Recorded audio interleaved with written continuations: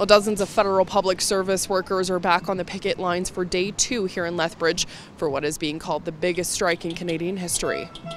Outside of the Service Canada building, employees with the Public Service Alliance of Canada continue to fight for a fair deal Thursday. We've had great turnout, great participation, great energy from the members.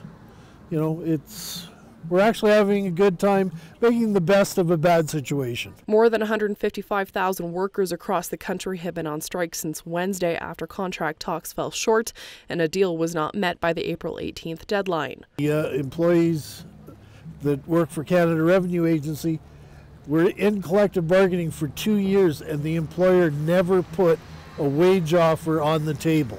The strike, although happening in the middle of tax season, specialists with H&R Block Canada anticipate the only impacts would be the calculations of benefits and credits in the future. For example, GST or um, the incentive, climate incentive, or even uh, old age pensions, but that's yet to be determined.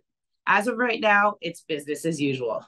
Workers who are on strike make up about 17.6% of the Canada Border Service Agency employees. In a statement, the agency says they do not provide direct frontline operational services like processing travelers and commercial goods. Services to travelers and businesses will be maintained. Back at the strike, the union would also like to see proper work life balance, job security, and remote work be negotiated. Well, the group isn't sure how long they will be on strike for, but they hope their employer will be able to come to the bargaining table with a proper collective agreement. For Bridge City News, I'm Angela Stewart.